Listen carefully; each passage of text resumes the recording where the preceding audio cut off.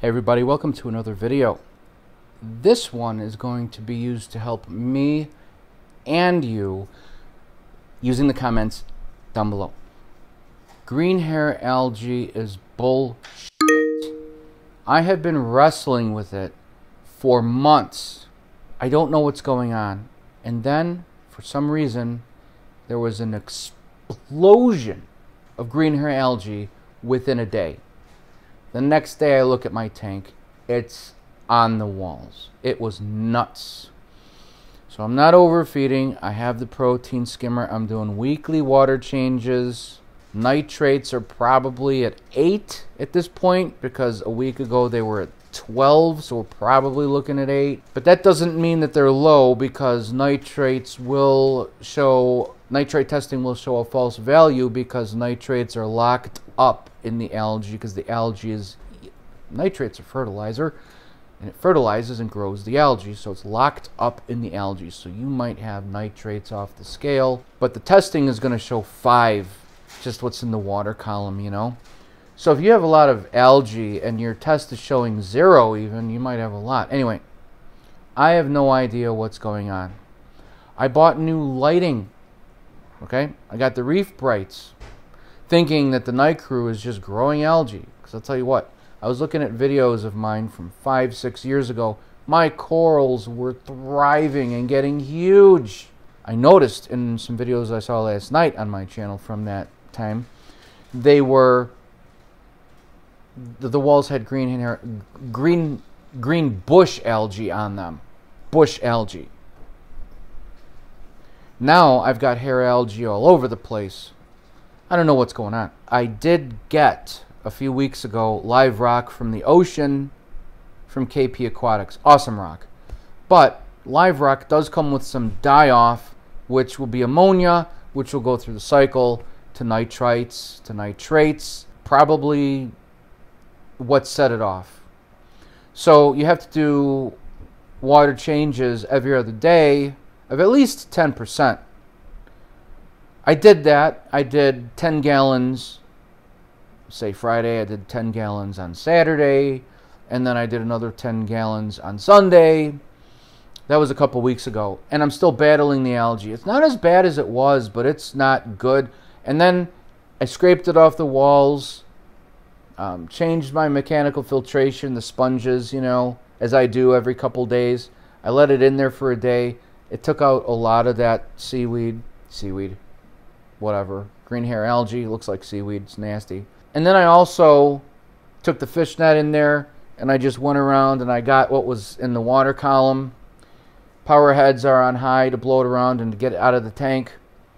I even turned off the protein skimmer for a couple hours and I put a couple capfuls of 3% hydrogen peroxide food grade because that kills. It breaks down the cell walls of the green hair algae and it turns it white. It's dead at that point. Use that with caution. It'll get in your water column. It doesn't take a lot. It gets in your entire water column, kills all the algae. It'll kill your inverts, shrimp especially.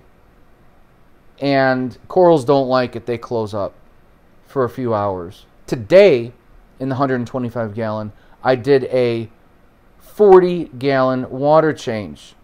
I scraped off the hair algae from the sides again and the overflows. And then I siphoned it all up, netted out the rest from the water column, put the 40 gallons of water in there, salt water. The water I took out was kind of dirty and it had a lot of algae in it. And the power heads are on high. And again, I put in two capfuls of hydrogen peroxide. That's all I can think of doing. Do I keep my lighting off a whole day except for just three hours a day? I, I really don't know what to do with this. It's really pissing me off. So if any of you have suggestions on what to do, what you've done, and I don't mean to get rid of it. I mean to get rid of it and kind of like keep it gone.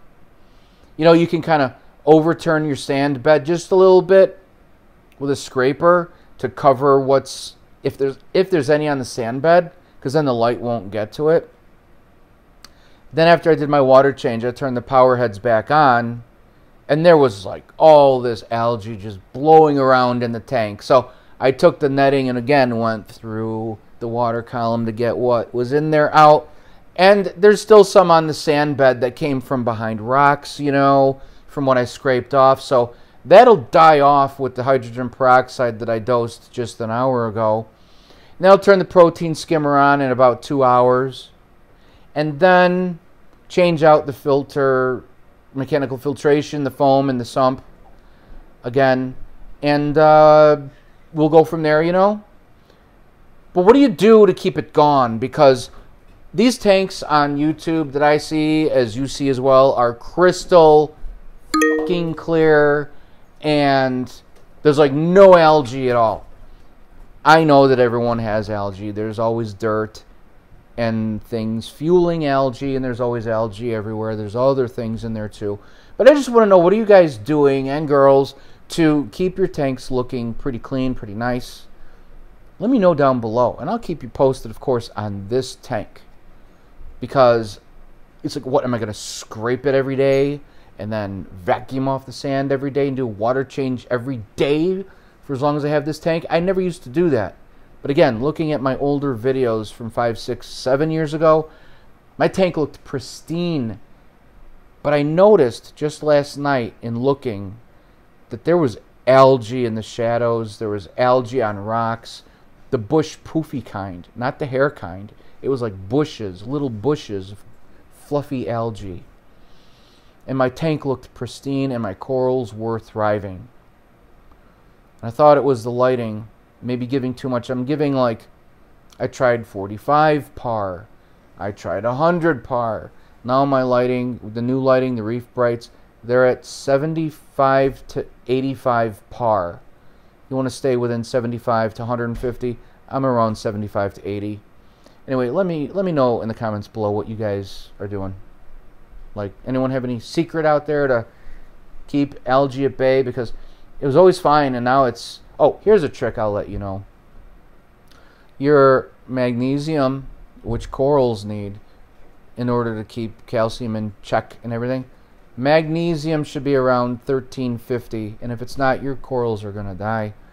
But if you keep your magnesium, you dose extra magnesium, which I've been doing, if you can get your magnesium to 1500 or 1600, it'll it'll kill that algae.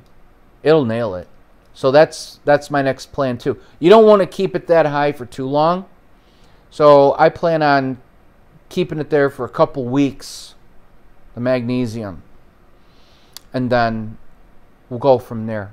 Your thoughts are very much appreciated. Check out the video description for the gear I use and the links where you can get the stuff on Amazon. And I'll see you in the next video.